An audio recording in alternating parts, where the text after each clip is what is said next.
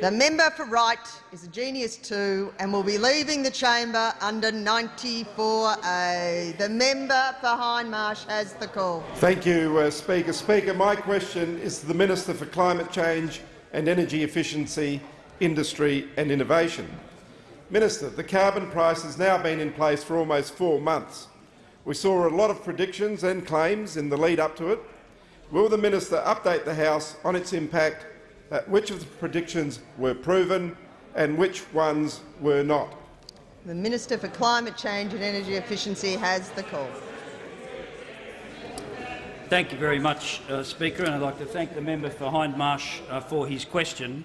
Uh, because, Speaker, it's important to remind the, the House that the Treasury modelling of the impact of the carbon price showed that the price impact would add 0.7 per cent to the CPI in financial year 2012-13. That was the Treasury modelling, and it's been mentioned many times.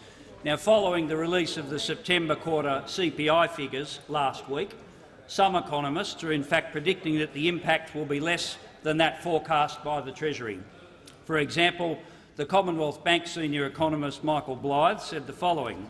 It is looking as if the Treasury's figure will be an overestimate rather than an underestimate and that's very good news for Australian households, recipients of tax cuts funded by the carbon price, recipients of pension increases funded by the carbon price, recipients of family tax benefits funded by the carbon price. All good news.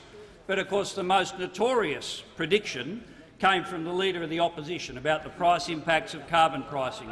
He has travelled the country claiming time and time again that there would be unimaginable, unimaginable price rises, and you name it. You just think of any commodity, meat pies, sausage rolls, tomato sauce, Weet-Bix, fish fillets, wetsuits, anything. Unimaginable price impacts predicted by the Leader of the Opposition. We know he's not real good on forecasting the stock market. He's even worse at the CPI, because now the September quarter CPI figures are in, we can do a few price checks.